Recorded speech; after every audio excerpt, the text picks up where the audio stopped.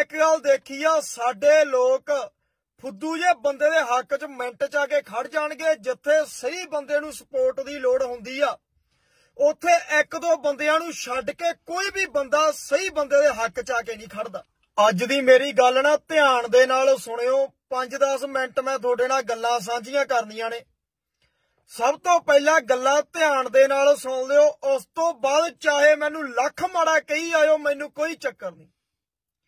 ਮੈਂ ਇੱਕ ਗੱਲ ਦੇਖੀ ਆ, ਸਾਡੇ ਲੋਕ ਫੁੱਦੂ ਜੇ ਬੰਦੇ ਦੇ ਹੱਕ 'ਚ ਮਿੰਟ 'ਚ ਆ ਕੇ ਖੜ ਜਾਣਗੇ, ਜਿੱਥੇ ਸਹੀ ਬੰਦੇ ਨੂੰ ਸਪੋਰਟ ਦੀ ਲੋੜ ਹੁੰਦੀ ਆ।